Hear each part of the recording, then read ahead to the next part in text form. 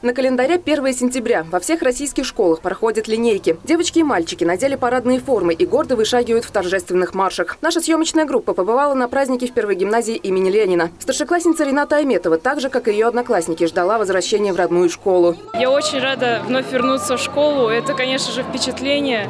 После лета увидеть всех своих одноклассников и пожелать им э, успешной учебы. Учителей и школьников поздравили первые лица Ульяновской области. Лучших педагогов наградил Сергей Морозов. Несмотря на массовость мероприятия, меры безопасности соблюдаются. Сегодня на а, первой школьной линейке всего лишь две параллели. Это первоклассники и одиннадцатиклассники.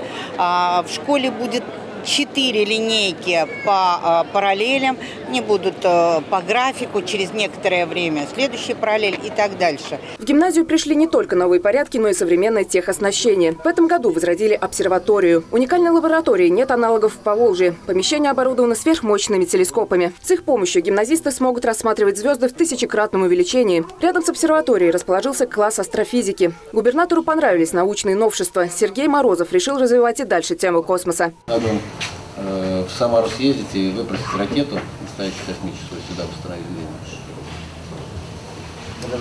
поставить. Или с, или с Рогозиным переговорить с Роскосмос. Ну, космоса хочется. Ну, раз уже там космонавты нам показали, Школьники приступят к занятиям 2 сентября. Обсерватория будет доступна не только ученикам первой гимназии, но и ребятам из других школ. В первой половине дня будут проходить уроки физики и астрономии. А вечером в астролаборатории закипит внеурочная деятельность. Виктория Черкова, Руслан Баталов. Новости Улправда ТВ.